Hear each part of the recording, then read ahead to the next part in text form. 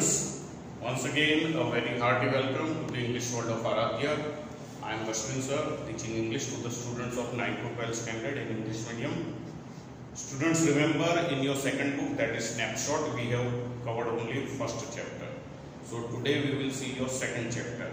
Uh, what is the title of your second chapter? The address. Okay, the title of the lesson is the address. It is students written by Marga Minco. The story goes somewhat like this. Here one girl is there who comes back to one particular place. It is the story with the background of war. So during the war time in Holland, this particular family was staying, or narrator's family. And during that time, one particular lady named Mrs. Dorling she once came to her house. That time narrator was very small and just asked her mother, since war is there, you people might go away. In that case, your house may be looted. But I won't go anywhere. I have nowhere to go. So what I will do is, I will take away all your important things to my house and when you come back that time I will return. So they, all your important things will remain in my custody. And narrator's mother liked this proposal, so she allowed her. And she thought that after all, she is our old forgotten relative, so no problem. So it took some years, and after some years, when uh, was quite grown up, she just came over there because her mother had given her that address. So she came searching that address and came to this particular house of Mrs. Dorling. And when she knocks the door, Mrs. Uh, Dorling opens it only a big little bit. And then she tries to introduce herself, narrator. Do you remember I am Mrs. S.'s daughter? And this Mrs. Darling has already recognized her, then also she behaves as if she doesn't know them. Okay? Because she has some selfish motives. She is a very greedy lady she doesn't want to return anything. She, the moment she says that I am Mrs. S's daughter, Mrs. Dorling understands, okay, that she has come to collect her all the things back. So she denies to recognize her and doesn't even open the door because uh, she is sure that if I open the door, she will notice all those things and she will claim those things. So in that condition, I'll have to keep. So she doesn't allow her to come in writer says, narrator says that she has come by train covering so much distance, then also Mrs. Dorling does not open the door. And then uh, the narrator goes back. When she reaches the station, again a thought comes to her mind that let me make a second try. So second time when she goes, that time Mrs. Dorling is not there, her daughter is there. So her daughter unknowingly opens the door and allows the narrator to come in and as soon as the narrator goes in, she finds so many things, her own things, kept haphazardly, okay, haphazardly, not in proper order. So she thinks that they have not kept the things suitably. But after all, she has come to collect all those things. And she, the moment she uh, sees all those things, she recognizes that these all things are mine only. But later on she feels that let me not take away all these things because where she now stays there is not enough space to keep all those things. So she decides that let me not keep those things over here. Understood? With that thought she just again goes back. She leaves them over there only. So uh, at a time when the when Mrs. Dorling does not recognize her, that time that thought comes to her mind whether she has come to the right address or not and that's why the title given over here is the A address. Okay, I'll just read out the part. You just pay attention, students. Do you still know me? I asked. Sorry, I'll begin from the beginning only. Second lesson, the address, Marga Minco. This short story is a poignant account of a daughter, poignant means very sad moving, who goes in search of her mother's belongings after the war in Holland. When she finds them, the objects evoke memories of her earlier life. Okay. However, she decides to leave them all behind and resolves to move on. Understood? So she goes there with some purpose and leaves that place with some other purpose. Understood? Do you know, do you still know me? I asked. The woman looked at me searchingly. Searchingly means just trying to figure out who this girl is. Okay. She had opened the door a wink. A wink means very narrow. Narrow part only she had opened. Not fully she had opened. I came closer and stood on the step. No, I don't know you. I am Mrs. S.'s daughter. The narrator now gives the introduction that I am Mrs. S.'s daughter. She held her hand on the door as though she wanted to prevent it opening any further. So the moment she says that I am Mrs. S.'s daughter, Mrs. Darling does not open. On the contrary, she puts her hand over there so that the door can be stopped from further opening. Okay. Her face gave absolutely no sign of recognition. Means she is pretending only. Actually, she has recognized her. But she doesn't want to show that. She kept staring at me in silence. Okay. Perhaps I was mistaken. So perhaps I made a mistake in coming to the wrong house. I thought perhaps it isn't her. So writer also just uh, in dilemma whether this is the same lady who took away our things or some other place I have gone. Because she had seen that lady in her childhood. Okay. I had seen her only once, fleetingly. Fleetingly means only momentarily, for a short time only. And that was years ago. So she had seen this Mrs. Uh, Darling years ago, just for a few short seconds. So it is possible that she may have come to a wrong lady. Okay. It was most probable that I had rung the wrong bell. See, she only accepts. ये भी possible है कि शायद मैंने गलत घर का दरवाज़ा का बेल बजाया है The woman let go of the door and stepped to the side. She was wearing my mother's green knitted cardigan. Cardigan means collarless woolen woolen jacket.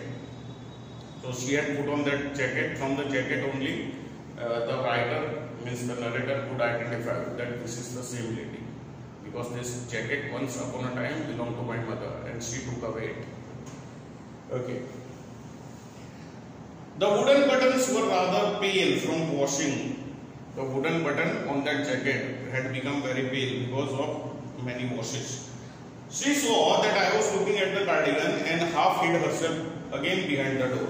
So her movements also just give a sign that she has already recognized this lady. The moment she saw at the narrator, that narrator is looking at her uh, buttons, she hid herself. So the, from that you can say that the lady already recognized the narrator but she doesn't want to show it. But I knew now that I was right. So writer is now sure that she has come to the right address. Well, you knew my mother? I asked. Have you come back? said the woman. I thought that no one had come back.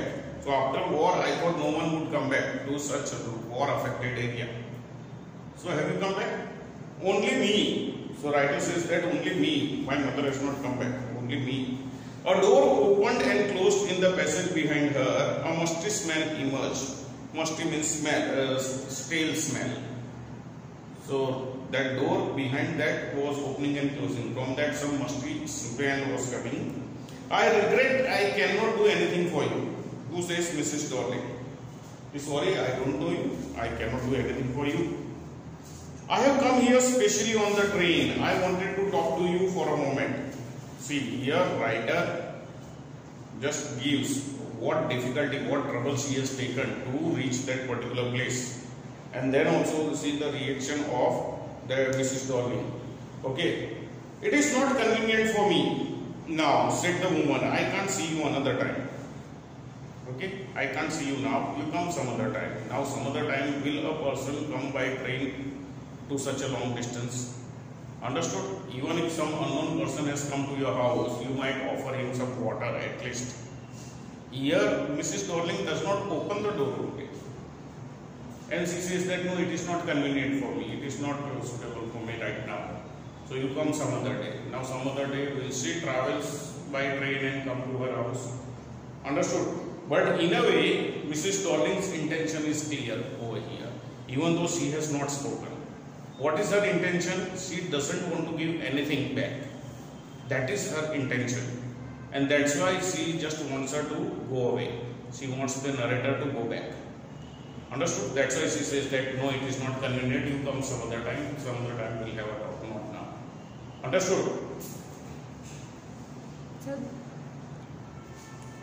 I stood where I was on the step.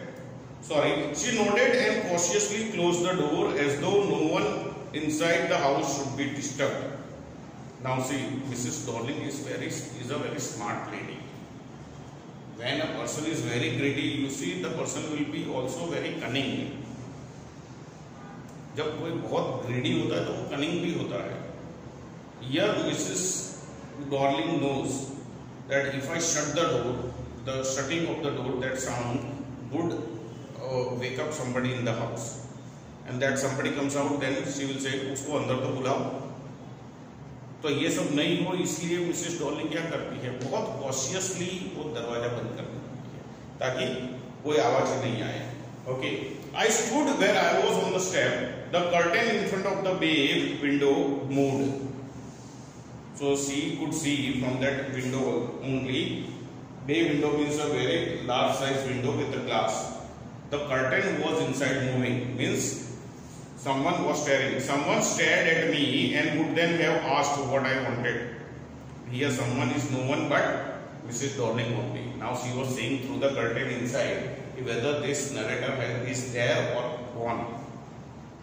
And when narrator looked at her, she just uh, sighed through her hands कि क्या चाहिए okay oh nothing the woman would have said it was nothing I looked at the nameplate again darling it said In black letters on the white enamel okay the white enamel यानी white hard substance shiny substance उसका नाम लिखा था Mrs. Darling okay and on the jam means on a vertical post outside the door what was there a bit higher the number number 46 so this was the right address number 46 marconi street mrs darling so mrs darling was already written there this number 46 is also there. And see uh, this one narrator finds herself in the marconi street only. So this is the right address. Then why that lady did not uh, recognize me? I looked at the nameplate again. Okay. As I wanted, as I walked slowly back to the station, I thought about my mother, who had given me the address years ago. Now the writer is confused. If that was the right address, if she was Mrs. Darling, why didn't she recognize me? It means I must have gone to a wrong address, or Mrs. Darling must have changed her house. She must have sold her house. So all those sorts of thoughts come to her mind. Okay. It had been in the first half of the war. I was home for a few days and it struck me immediately that something or other about the rooms had changed. Now she goes back into her past. She realizes that when she was a small girl years ago, that time, she found something missing in the house. She found some rooms setting up changed in her own house. Okay, I missed various things. Gradually, she started missing various things. My mother was surprised. I should have noticed so quickly. So जब मैंने मेरी mummy को बताया आज ये चीज़ नहीं है वो चीज़ नहीं है तब के टाइम में मम्मी भी चौंक गई थी कि इसको ये सब कैसे पता चला? ओके कि चीज़ें गायब हो रही है। Then she told me about Mrs Darling now mother had no option so she told the narrator कि देखो ये मिसेस डॉर्लिंग नाम की एक औरत है वो आती है हमारे यहाँ। I had never heard of her, but apparently she was an old acquaintance of my mother, whom she hadn't seen for years. तो ये तो कभी वहाँ थी ही नहीं। तो नरेटर सोचती है कि ये औरत को मैंने कभी देखा ही नहीं है। तो मदर बताती है कि हमारे परिचितों में से एक है, पहले हमारे साथ थी। ओके ऐसा वो बताती है, ऐसा वो मिसेस डॉलिंग ने भी उसको बताया था उसकी मम्मी को। तो वही बात उसकी मम्मी इसको बता रही है।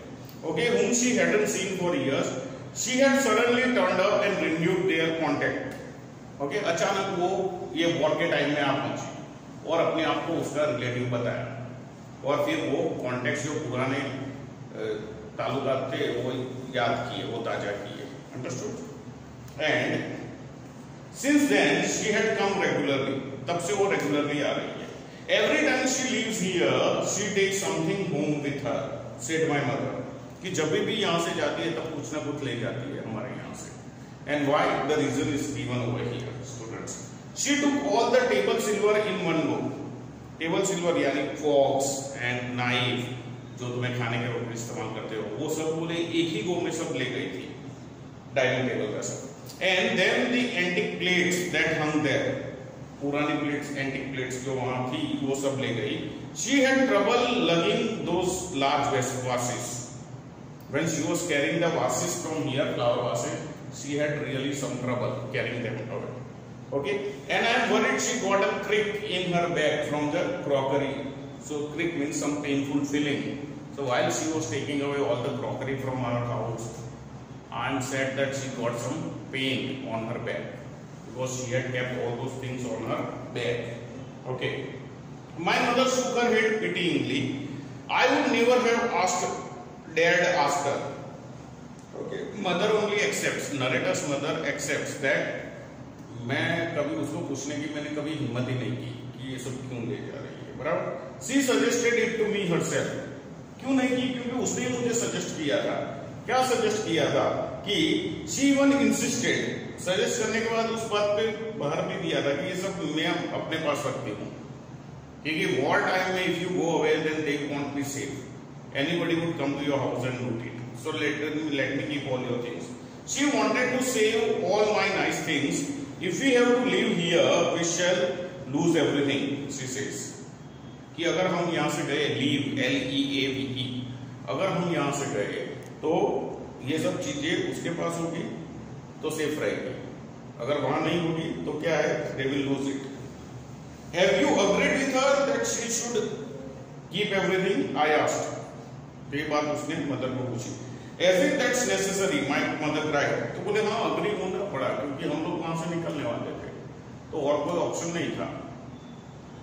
चीज़ें लूट जाए, उससे अच्छा कोई उसके पास रखे, फिर हम जब वापस आए, तब they they that would be a better option so I agreed with her okay, it was necessary also at that time it would simply be an insult to talk like that and think about the risks she is बराबर, ऐसी बातें करना भी क्या है, उसके लिए insult के समान होगा। और फिर ये भी तो सोचो, वो सब चीज़ें ये ले जा रही है। तो उसको भी तो रिस्क है उसको ये सब चीज़ें लौटानी पड़ेगी रास्ते में जाते वाले टूट फूट गई या तो पुलिस ने पकड़ा कि ये सब कहाँ से लाई so she is having all those risk Okay, each time she goes out of the door with a full suitcase or bag, she has all those risks. She may be also looted by someone. उसको भी कोई लूट ले सकता है okay okay? उसको police पकड़ सकती है कि ये सब कहाँ से लाई Okay. So my mother seemed to notice that I was not entirely convinced. She looked at me reprovingly, yani in a scolding manner, and after that we spoke no more about it. Understood, students? So here, I think up till now this story is quite clear. After that, they never talked about this. How Mrs. Darling used to take away all the things. Understood? Now she goes back into the flashback, and all those memories are shown over here.